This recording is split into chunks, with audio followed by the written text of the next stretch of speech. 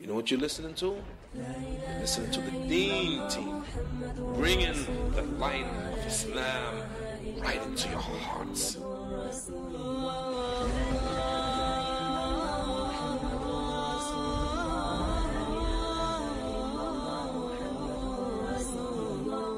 Follow us on Facebook at the Deen Team Sydney radio program and subscribe to our YouTube channel, Deen Team Sydney.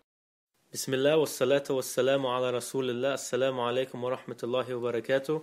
You've joined the Deen team. With you is your brother in Islam, Mazen Abou-Zolof, and I have my be- very beautiful brother, Mohamed Hoblos. Assalamu alaikum. Wa alaikum assalam wa rahmatullahi wa barakatuh. How are you, mate? Alhamdulillah, Mazen, and how's yourself? Alhamdulillah, very, very good. Um, it's a pleasure, as usual, to get to spend some time with you and uh, do what we love doing most, which is talk about this great deen of Islam. Alhamdulillah. Alhamdulillah. And uh, we thought today's topic, we thought we might go back to, I guess, back to basics, if you really want to call it that, because, you know, every uh, structure has a foundation, and this foundation, you know, one of the main structures that we have in this foundation of the deen is a topic called sincerity or ikhlas in Arabic. But by no means do I want anyone to think, okay, basic, this is something simple and this Oh, is yeah, yeah. something very, very easy. Absolutely. Um, this is really the core of our religion and this is the core of an individual's ibadah. So, the, you know, so one's personal worship between him and Allah subhanahu wa ta'ala, this is the absolute core of it. And inshallah, um, we will touch on different ways of worshipping Allah subhanahu wa ta'ala where this is an absolute key point to have. You know what I found most amazing as well that you know in the in the uh, series of books that we usually refer to that most Muslims have in their household, which is Riyadh al-Salihin by Imam Nawawi, may Allah grant him Jannah inshallah. Um, the first chapter completely the you know the very first chapter in that series of books is actually dedicated entirely to the topic to the uh, to this theme of uh, sincerity subhanallah Well, you know, going going on to the book of you know Riyadh Salihin, this is a whole collection, and you know it's not just about the fact that the great Imam An-Nawawi has collected all of these beautiful authentic hadith and he's put them into chapters. No, but even the order of which he's put the chapters was a lot of thought into it. This is this is from a scholar's point of view. Okay, how do we start? You know, one of us wants to get closer to Allah subhanahu wa ta'ala. Okay, how do I start? So when you open up Riyadh Salihin, Mazen, you're right. The first chapter that, that you do come to is the chapter of sincerity. Why? Because really, if we don't establish sincerity in the very beginning, in fact, the very first thing, then everything else after it really sort of collapses. that's true You know, why are we here? We're here for Allah subhanahu wa ta'ala. Why do we, you know, why does one pray? Why does one fast? Why does one give charity? Why does one, you know, why is one good to his mother? yeah Why? Oh, because she raised me. No, this isn't why.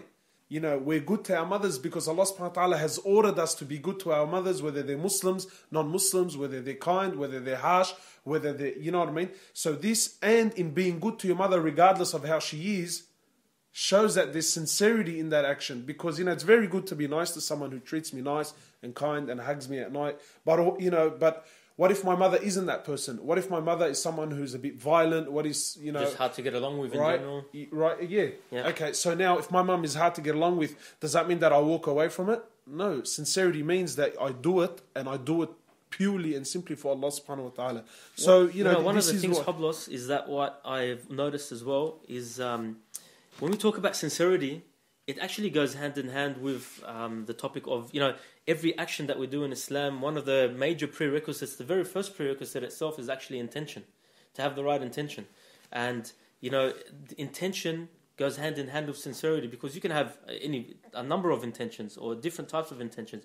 You can have an intention to you know do something to show off in front of people or to please someone or to make yourself look good or to you know fit in you know that that is an intention but then we come to the question of okay is it a sincere intention no. or is it an intention for something else? Well look um, you know going to our most important source which is the words of allah subhanahu wa ta'ala which is the quran. Allah subhanahu wa ta'ala he says Mazen you spoke about basics. Well this is exactly what allah subhanahu wa ta'ala says also. He says وَمَا أُمِرُوا إِلَّا لِيَعْبُدُوا اللَّهَ مُخْلِصِينَ لَهُ الدِّينَ حُنَفَاءَ وَيُقِيمُوا الصَّلَاةَ وَيُؤْتُوا الزَّكَاةَ وَذَلِكَ دِينُ الْقَيِّمَةِ Allah subhanahu wa ta'ala says that they were not commanded, meaning the people were not commanded except that they should worship Allah and Allah alone, that they should perform the salat and give the zakat, and verily this is the right religion. This is what Allah subhanahu wa ta'ala wants from the people. And in another verse, Allah, Allah subhanahu wa ta'ala, He says that it is neither their meat nor the blood that reaches Allah subhanahu wa ta'ala, but it is the piety from you that reaches Him. Again, it's going towards sincerity. Allah subhanahu wa ta'ala is saying, when you make your sacrifices, when you slaughter a sheep or you slaughter a goat or you slaughter an animal for the sake of Allah subhanahu wa ta'ala, Allah is saying, don't think it's the meat or the blood of this animal that reaches me. Rather, it's what's in your heart that reaches me. The reason why you slaughter the meat is what reaches Allah subhanahu wa ta'ala. You know, it's not the blood, you know, it's and, and you know, subhanAllah, and it's not the meat. And the final one here, Allah subhanahu wa ta'ala, He says to Muhammad sallallahu alayhi wasallam, say, whether you hide what is in your hearts or you reveal it, Allah subhanahu wa ta'ala knows it. You know, my brothers and sisters, sometimes you don't have to say it.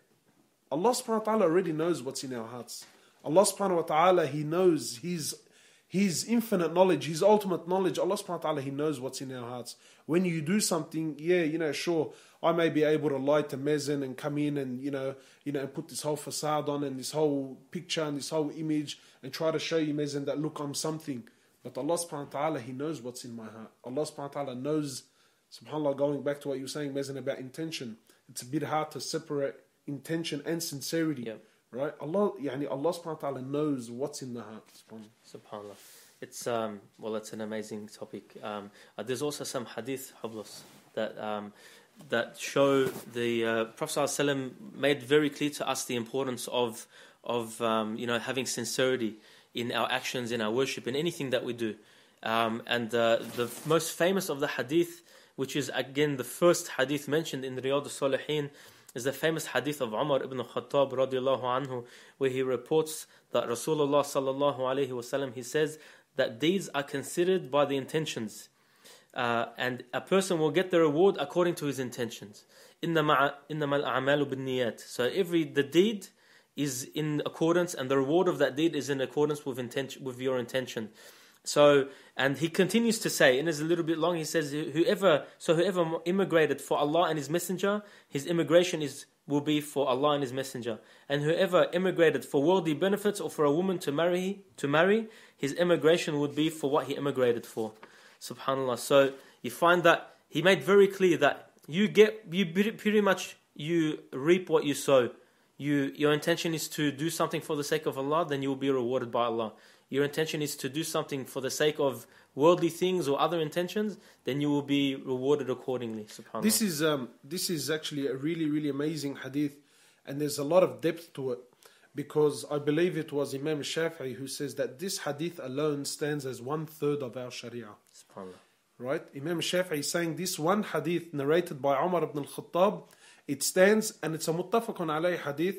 Right? He says it stands as one third of our Sharia. Why?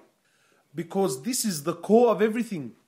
What was the intent behind it? And even now, Mazen, you find that even now the Western system has also adopted this. You know, now when, when there's a murder case, right? The intent behind the murder Yeah. plays a huge role. Absolutely. You know, that what was the intention behind the action? When you struck this person, or when you harmed this person, or, you know, as severe as, yeah. you know, when you killed this person, what was the intent? Did you do it simply because there was a personal thing? Was it a self defense? Right? So the intention plays a big role. And here, the Prophet of Allah is telling us that everything that you do, and this is important too because it sort of gives us structure, in Absolutely. that okay, look, do I just go crazy and do a whole lot of acts of ibadah thinking, you know what, that this is what makes Allah subhanahu wa ta'ala happy? No, the Prophet of Allah is saying that everything that you do, you need to have a motive. I need to have an intention. That what is this for? What is this for? Why? Because when I have an intention that I'm doing something for Allah subhanahu wa ta'ala, then what happens? I can be sincere about it. I can continuously remind myself that hey, I'm doing this and I'm doing it for Allah subhanahu wa ta'ala. There, there is something else that I wanted to point out in this particular hadith. This is probably one of the most famous ahadith, right? But here you find that the Prophet of Allah he's speaking about the migration in specific that whoever migrated from Mecca to Medina to please Allah and His Prophet, then this is what he will be rewarded for.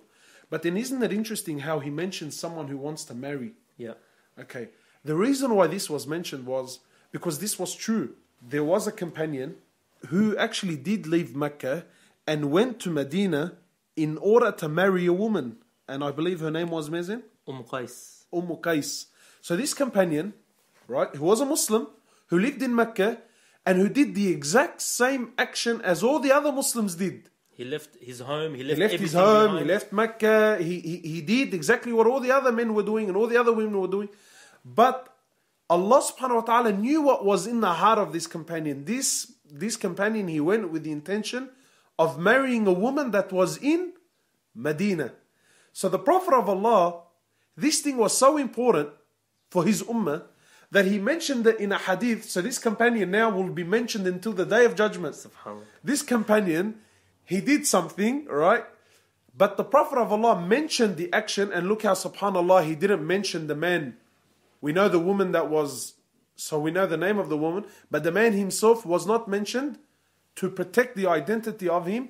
But the Prophet of Allah mentioned that whoever migrated to marry a woman, and now this is going to be recorded for eternity, right? So long as so long as the books will be opened up, we will forever read about this man to remind us, my brothers and sisters, that when you do something, you make sure that you do it for Allah and His Messenger. I do it to please Allah subhanahu wa ta'ala.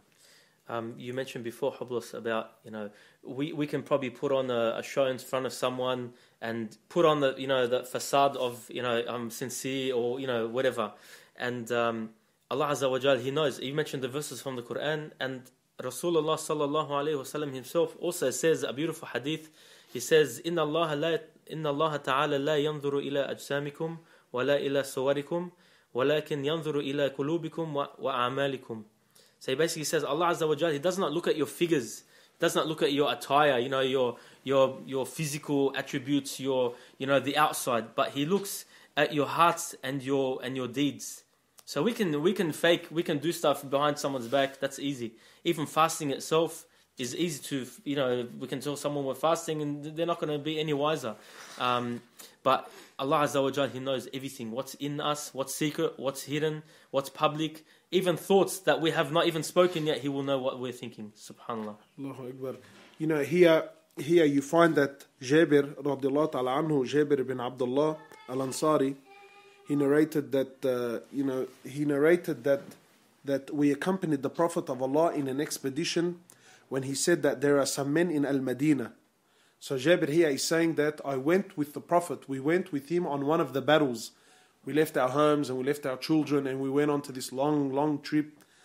And so on the way back, the Prophet he says that there are some men who are still in Al Medina, meaning that they're still at home with their wives and their kids and their families.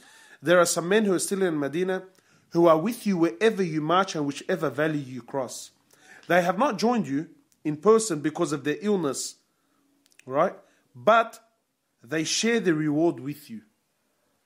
You know, subhanAllah, whenever I read this, I sort of imagine that imagine being a companion, right? Who's left his wife and kids and family and, you know, the area, the boys, wha- whatever, right? I've left all this stuff, you know, and I've gone on to this battle, you know, I've left, you know, Never this, to return, maybe. this very long expedition and I'm thinking, you know what, I'm reaching levels here, look at me, right? I'm something else and I'm with the Prophet and You're there's feeling bad for the guys left behind. Right, yeah, right. And there's the danger. And then all of this, right? So here I am thinking I'm flying. The Prophet of Allah turns around to tell me that there's men who stayed home. They stayed home, not not stayed, you know, watching. They stayed at home and they share exactly the same reward. In fact, he says they're with you every valley you cross, every mountain you climb. Come on, man. That's a bit unfair, isn't it? But why? Why? He says because they intended sincerely to be with you here, and the only thing that held them back was a valid excuse. Right? Was a sickness or something that Allah subhanahu wa ta'ala, right, He made it permissible for them to stay back. So don't belittle the intention. Don't belittle the intention. These men are getting full rewards while they enjoy the safety and the luxury and the comfort of their own homes and their families. Subhanallah, uh, Ibn al-Qayyim, rahimahullah, very great scholar. He once said that uh, deeds without sincerity, so performing a deed without being sincere about them, is like a traveler who carries uh, a water jug, but in this water jug, he's actually got dirt in it. And you're thinking like, why would you do that? Like, why would you go through all that trouble, you know? And that's that's exactly right. It's going through all that trouble to carry that water jug, but it doesn't actually benefit you at all. You know, you're going, and, and this is exactly like um, the deeds that you perform without any sincerity. You're going through the trouble of performing these deeds. You are, you know, putting in the effort. You're, you know, you have restless nights. You, um, you know, you've got, or you're expending all that energy.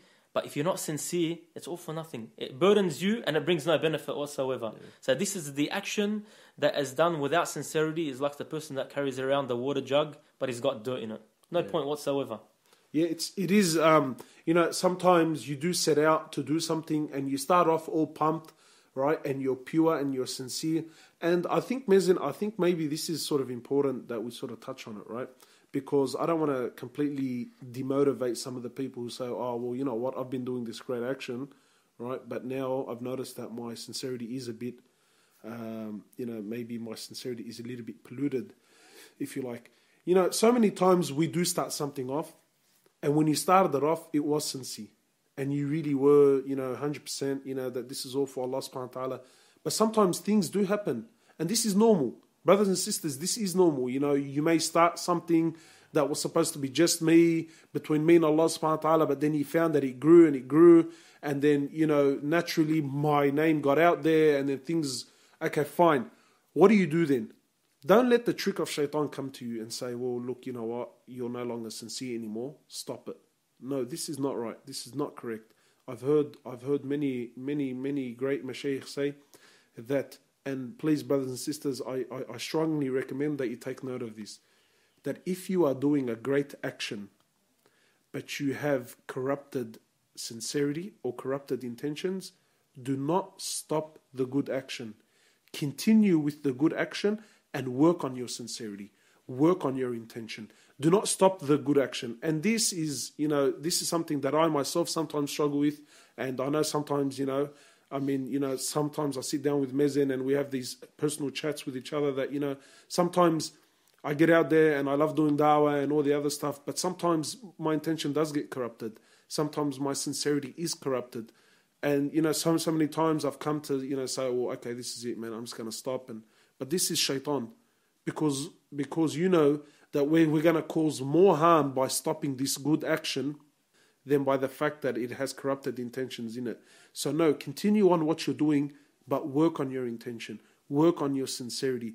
This is how we, and this is how you, this is how you defeat shaitan, right? So please keep up the good work, but work on your sincerity. And know that, you know, know that Allah subhanahu wa ta'ala, He's a jealous God. What do I mean by he's jealous? That he loves when something is done, something is done for him and him alone. This is how Allah subhanahu wa ta'ala wants it. And this is why you find that, uh, subhanAllah, many of the sunnah that the Prophet used to do that build sincerity have now been lost. One of them is meditating, right? This is how Jibril came to him. The Prophet of Allah, he used to go to a secluded place, he used to sit there and think and contemplate and speak to Allah subhanahu wa ta'ala you know, some soul searching.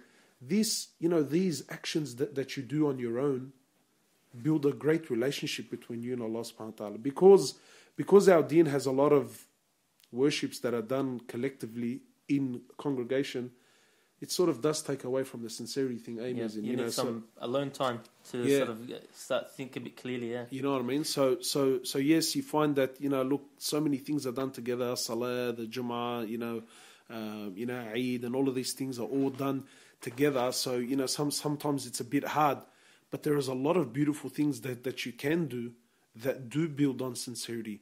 You know, one of them is being the optional fasting.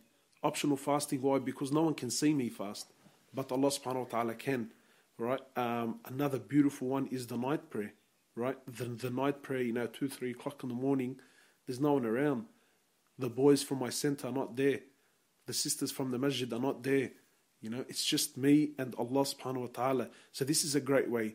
Um, giving charity both publicly and in secret. In fact, uh, this is one of the seven that is uh, shaded on the day of judgment when there's no shade except the shade of Allah is a person that gives charity so secretly that, you know, that the left hand doesn't know what the right hand did. Uh, which is a figure of speech meaning so secretly that you know, no one but that person that gave and Allah Azza wa Jal will know about it. Yes. And, this, and this person will be shaded on the day of judgment, subhanAllah.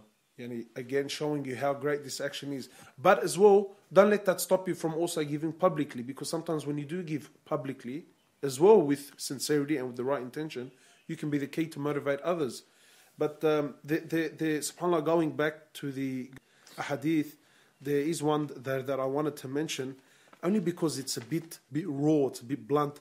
But here it is said that the Prophet of Allah was saying to his companions, he says that when two Muslims are engaged in a combat against each other with their swords and one kills, right, and one of them is killed, the Prophet of Allah, he says that both of them are doomed to hellfire. So the companions were amazed. You know, they, they were, they, were, they were amazed. And so then one of them asked, he says, A messenger of Allah, as for the one who kills, it is understandable, right? It is understandable that the murderer is thrown into hellfire. But then the companion says, But the Prophet of Allah, why is the one that's slain? Why is the one that's killed? Why is the murdered one? Why is he thrown into hellfire? The Prophet of Allah, he replied, He says, Because he was eager to kill his opponent. Yes, he was killed, but in his heart, he was just as eager as the one that murdered him. He was just as eager to kill the other guy. So yes, while you know, again, it's not about the action. If we're going to look at action, Mazen, one of them's a murderer and exactly. the other one's a victim. The other one's a victim, exactly. Right. But the intention behind it, yes, this man was killed, but in his heart, he wanted to kill him just as much. So again, you know, innamal a'malu bin niyat. Verily, actions are with, are with the intention that is behind it. You know, I, I came across a beautiful saying by um, one of the pre- pious predecessors, and uh, he said a very beautiful saying which was the sincere one is he who hides his good deeds in the same way that he would hide his bad deeds. You know, meaning that he the good deeds that he performs are actually so sincere that he even his good deeds he wouldn't want anyone to know about them. Subhanallah, oh it's a very God. beautiful saying. You know, there's a hadith um, Hoblos about um, which I find it very very interesting, and you know, we've done khutabs on this particular story, and there's a hadith about. Um, uh, Abu Hurairah radiallahu anhu narrates that Rasulullah sallallahu alayhi wasallam he says, uh, you know, he gives, uh, he shows you what happens. The three people that will be judged first on the day of judgment, right? And this is this hadith just blows my mind, subhanallah. The first of the men whose case will be decided on the day of judgment is a man who died as a martyr. So like shaheed. a shaheed. Already that, that first sentence just freaks you out. So the first person that will be judged on that day will be a, a shaheed, a martyr, a person that died for the sake of Allah. And then he will be brought forward to judgment. And Allah will make him recount his blessings and he will recount them. So Allah will ask him, you know, what, all the things that I've done for you, you know, all the blessings that I've given you. Allah Azza wa Jal obviously knows, but He's making this person recount the blessings that Allah Azza wa Jal has bestowed on him. So he does, he recounts them. Then Allah Azza wa Jal himself will say, And what did you do to deserve these blessings? So he recounted the blessings that Allah gave him, and then he says, I have fought for your sake until I died as a martyr. So this man has given up everything. He's given up his wealth, his life, his family. He's left his family, he's left his kids, he's left his house and his property. He's left everything behind, and he's gone out on the battlefield, which is one of the you know scariest way to go and you know to go and lose your life, and you know dying under the shimmering swords. And then he says, "I died for your sake, Ya Allah." And then Allah Azza wa Jalla, listen to this, and this is the this is the clincher. Allah will say, after this man will say, Ya Allah, I went and died in battle for your sake. Allah Azza wa Jalla will say that you are a liar. You fought so that you be called brave and a warrior and courageous. And you were called that. You got what you want.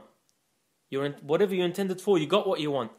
And then the orders will be passed against him, and he will be dragged on his face into the hellfire. Look how the story started. The man died as a, as a martyr, as a shaheed. Which is the, the greatest This rank. is the pinnacle. This is the ultimate way to leave this dunya. You know, and this is a this is a, this in itself is a blessing from Allah Azza wa Jal. Yet this man, the end of his story was that he was dragged, not just dragged to the hellfire, dragged on his face in a humiliating way to the hellfire. Subhanallah. And this again goes back to the whole point of intention. His intention was not to please Allah. His intention was not to earn the pleasure of Allah. His his intention was to be called courageous. And Allah says, You got what you want. People, you know, whatever you intended for, you got. You haven't been oppressed. This is how fair Allah subhanahu wa ta'ala. Allah's fair. And, and you if know, this is what you wanted, this is what you got. and Mazen, this is this is also the same thing that Allah subhanahu wa ta'ala he does with the non-Muslims. Yeah. Because they will come to Allah subhanahu wa ta'ala and say, But look, we did all of these Yeah. great actions Yeah. in your name. Yeah. He says to them, No, you didn't. You did these great actions in the name of the cross. Follow the cross, and the cross will be thrown into the hellfire. You did it for the cross, then follow the cross. You did it because you worshipped the sun and you thought that this was. He says, follow the sun. The sun will also be thrown into the hellfire. You know, so so this is also the justice of Allah subhanahu wa ta'ala. The second, there's a, there's two more. The second of the men will be it was a man who acquired knowledge and he taught it to others, um, and he recited the Quran. So this man is a alim. He learnt knowledge, he acquired knowledge, he taught it to others. He learnt the Quran, he recited the Quran, he taught it to others. You know, like the this is again one of the highest ranks of a of a Muslim that you could ever be is do these things. And then again, he will, he will be brought to Allah and he will be made to recount his blessings. And he will recount all the blessings that Allah Azza wa gave him. Then Allah again will ask, What have you done to deserve these blessings? And he will say, Ya, ya Allah, I acquired knowledge and I taught it and I recited the Quran. And that he And, did it for and I did it for seeking your pleasure and your pleasure only, Ya Allah. And then Allah Azza wa Jalla again will turn to him, will tell him that you're a liar. You acquired knowledge, so you will be called an alim, a scholar. And, that, and you recited the Quran so that it might be said that he is a qari. He, is, he has a beautiful recitation and a beautiful voice. And you got what you wanted. They said this. They said you were a, a scholar. And they said, they praised you as a scholar. They praised your knowledge. They sought to sit at your feet and obtain the knowledge that you had. And they listened and cried behind you when you were praying. You know, I'm adding to this obviously. The whole point is, you, you got what you wanted. Then he will give the orders that this person will be dragged on his face and thrown into the hellfire. Subhanallah. Imagine all that time, Hoblos, you're neglecting your family because you're going to study circles. You're leaving the country possibly to go and study overseas. You're, um, you know, the, the life of a scholar is not, you know, they're not exactly rich and well off. You know, they actually don't have an income. You know, they subsist on, you know, people giving them donations or people helping them, helping them out.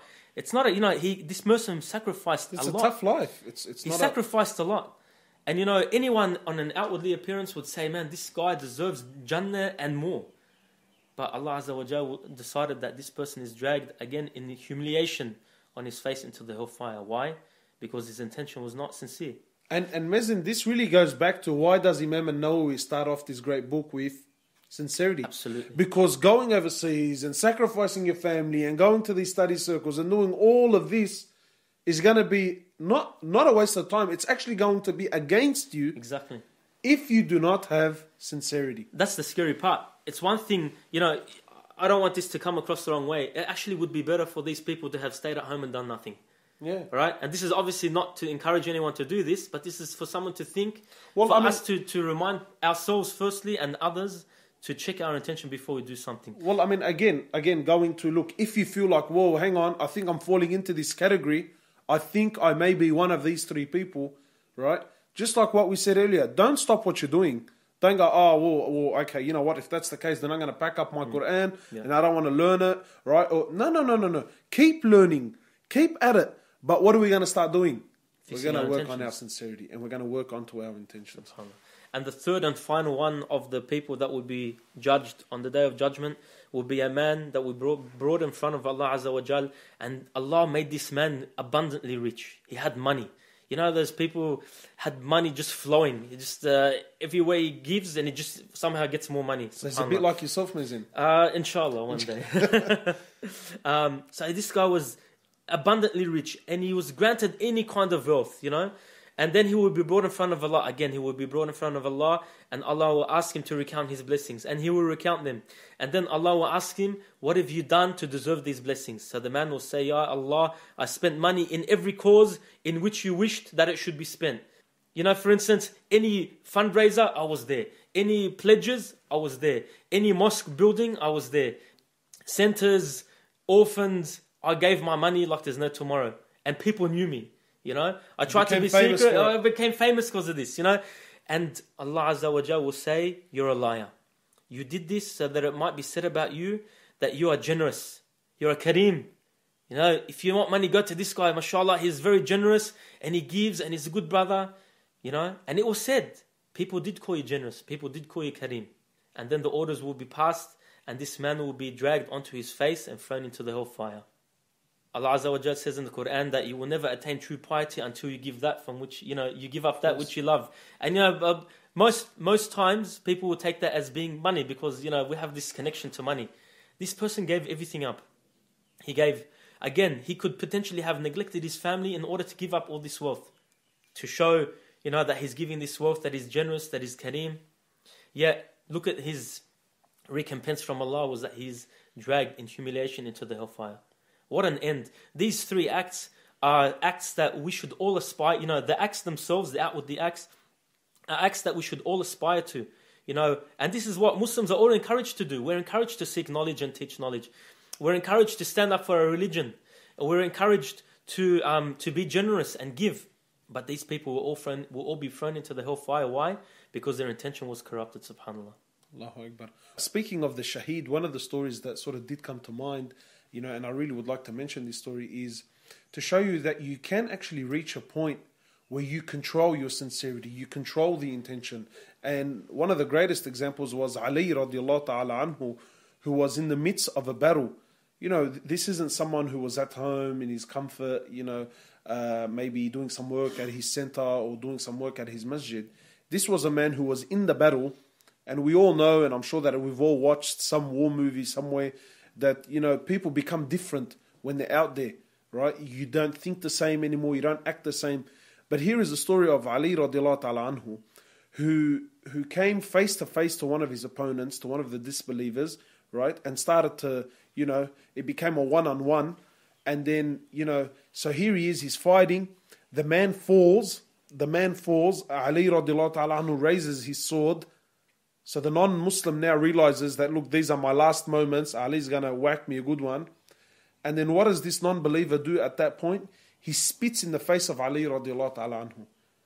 Imagine, like, you know, he's thinking, look, I'm going. I'm not going to give you the satisfaction of taking me out just like that. I'm going to do my best to disgrace you. So he spits in his face. And what I really, yani, this is a, a very degrading act, especially for the Arabs. So he spits in his face. So, what do you expect to come out of Ali really now? I mean, uh, you know, if you if you were to ask some some some of the young boys, well, if I was going to whack him one good one, now I'm going to do ten, right? Just take, in spite of the fact he spat in my face. Ali radiallahu ta'ala anhu amazingly, amazingly stops in his tracks, wipes the spit off his face, turns around and walks off and leaves the man unharmed. The man is absolutely boggled, couldn't believe his eyes what just happened? I mean, I spat in his face, right? And he was about to whack me. And what does he do in return? He turns around and walks off. So the man just dying to know, and the companions wanted to know. So when Ali radiallahu ta'ala anhu, when he was asked later on, Anu Ali, what happened? He says, When I raised my sword to begin with, I raised it for Allah. But when the man spat in my face, something entered my heart and I wanted to kill him for my own personal reasons. He says, So when this entered my heart, I stopped, I walked away because had I killed him, Allah. it wasn't going to be for Allah, it was going to be for my personal revenge. SubhanAllah. This is incredible. What control, man. Honestly, this is incredible. But my brothers and sisters, we can reach this. We can reach this. One of the things that we can do is to, when I come to do an action, I remind myself, okay, why am I doing it? And then, if you can, Before during you the action, you yes, mean, yeah? right. Yeah. So so just before I do an action, I'm going to remind myself, all right, this is for Allah. And then during the action, right? And then during the action, right, while I'm still doing this action, or, or then even then I remind myself. And then after, when I finish the action, I make a istighfar. I ask Allah subhanahu wa ta'ala to forgive me, right? And I remind myself that what I did was all for Allah subhanahu wa ta'ala. And we ask Allah subhanahu wa ta'ala to accept us all. Inshallah ta'ala. Inshallah. Listen, any final words? I just make dua, inshallah, that Allah Azza wa Jal gives us the capacity and the clarity to ensure that any action that we do is done with sincerity and ask Allah Azza wa Jal to uh, ask Allah Azza wa Jal to make us from the mukhlisin, from those that do everything with ikhlas, subhanallah. Ameen. And uh, unfortunately, this is the end of this particular talk, and uh, it's been a pleasure having you, Hoblos, and uh, being able to speak about this. It's a very, very important topic, and inshallah, the audience gets the benefit out of it inshallah. Inshallah ta'ala. Uh, سبحانك اللهم وبحمدك نشهد أن لا إله إلا أنت نستغفرك ونتوب إليك السلام عليكم ورحمة الله وبركاته محمد رسول الله